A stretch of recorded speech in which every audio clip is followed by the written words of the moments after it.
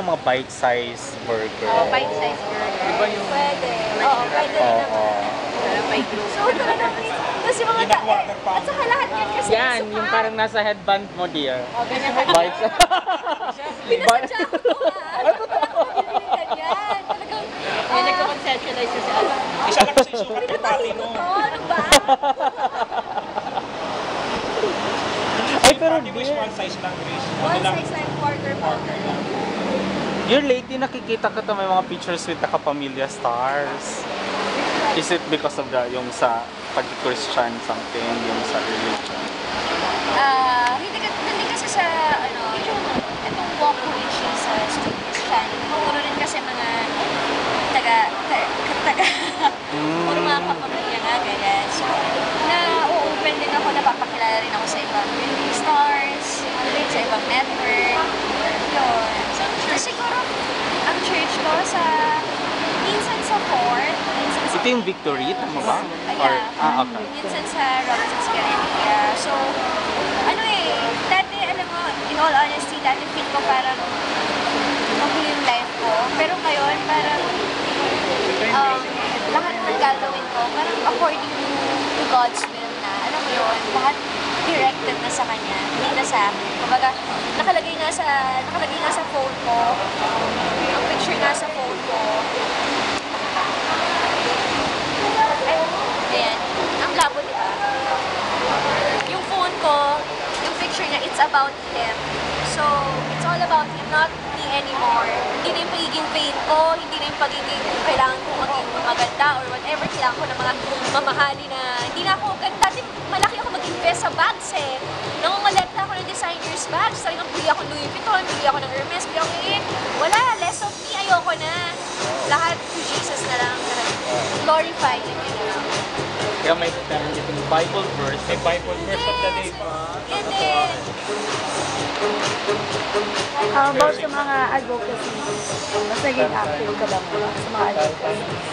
um, hindi pa ako masyadong active sa advocacies, pero uh, yung GMA Artist Center kasi very involved sila sa ganyan eh. So, whenever they ask me if I could give something or if I could donate ano naman, very open naman ako. Ano rin naman ako, all out din naman ako. And talagang, uh, ano yung kailangan nila sa akin, lalo na ngayon wala akong ginagawa.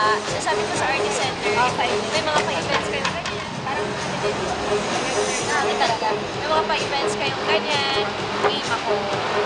Next time nga sa ko sabi ko may pa-lunch kayo or whatever, or pwede ako mag-serve ng mga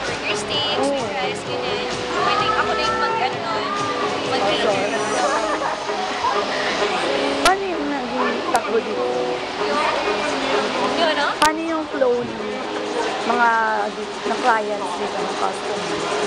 Anong market? Ano? Bilang market mo dito? Anong market? Mga yappies ba or Ah, oo, mga bata. Mga bata, at saka mga ah, late night party people. Kasi we're open until 2 a.m. eh. At saka yung mga talagang foodie, yung talagang mahilig mag-try ng different, ano, pag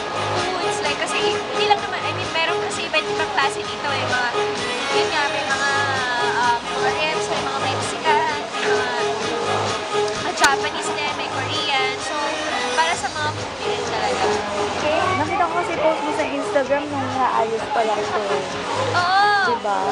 Actually, uh, soft opening pa lang namin. Oo. Sa grand opening namin, may inaayos ako ngayon na parang scrapbook. Gusto ko makita nila yung the making ng buong to. Kung paano ako naging hands-on. Kasi minsan Oo. pinipicture ako yung sarili ko, umiiyak ako. Pinicture ako yung sarili ko, nag-aayos ako ng mga resibo ko. Ng mga, pinicture ako yung sarili ko, nasa Divisoria ako,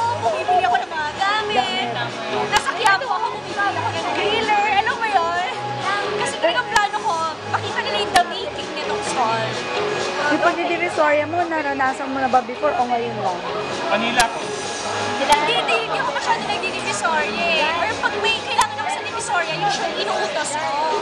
Pero dahil ako mismo, gusto ko makita yung design na pwede kong gamitin dito. Ako talaga pumunta. Ninja mode talaga ako, pero ending, nakilala pa rin nila ako. Grabe, no? Talagang hands-on. Hands-on talaga ako. Pero aside from this one, di ba meron ka pang isang? Yung adobo. Ah, yung adobo, give up ko na siya. Give up. give up ko na siya, it's because uh,